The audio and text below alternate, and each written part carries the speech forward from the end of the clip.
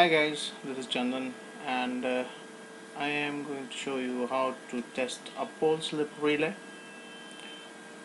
And uh, it goes like this. I got a small Excel file which you can work with to make your own uh, make your own relay settings which are applicable on your on your relay so here this section the left section would define your settings. K1 K2 and K3 could be already set. The angles are theta 1 or theta 2 in one of my cases it's 50 degrees and here you can set the timing. Time is 41 milliseconds. And uh,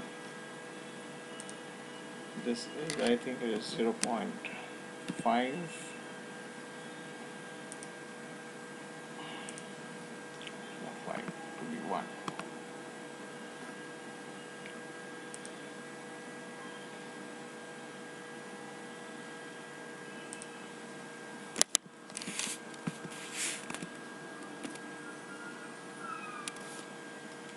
okay so this is this is what the angles are set to.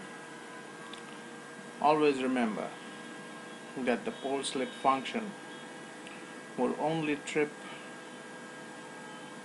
in between these two lines be it 0 or be it anything beyond this the pole slip relay should not function.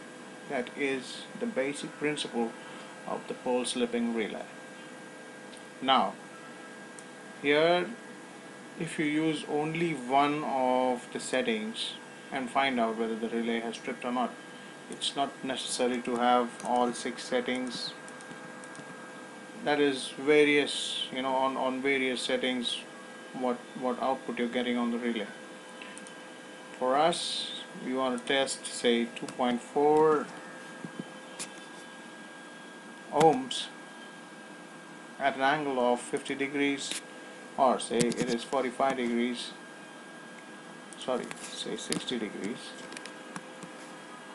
And you can see that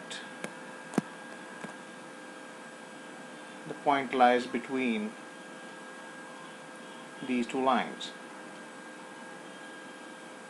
And this is in this fashion if you want many other settings you can just find out plus this is your generator impedance in ohms.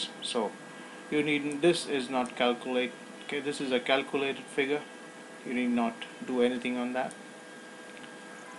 And yes these are the values which you have to inject in the relay through either of the test kits whichever you have. You might have a Doble test set you might have Megger you might have omicron you might have uh, Ponovo anything. Always remember the basic formula for ohms is V is equal to IR in case if you do not want to inject voltage then the difference of and if you don't want to do any angles at 0 degrees it would give you uh, a 30% of an error and in if you if you do it with the right phase angle which is set in it would give you about 4 to 10 percent error. And that that should be acceptable. And that's it. You I think that's that's more than enough uh, which I could show you on slip relays thank you for watching. And if you like it do thumbs up